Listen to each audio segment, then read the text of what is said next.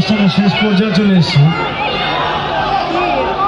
এখন আমি স্টেজে দুজন স্পেশাল মানুষকে আমন্ত্রণ করব আমার সাথে লাস্ট নাম্বারটাতে আমার সাথে তারা স্টেজে কোম্পানি করবেন দিল be the two great musicians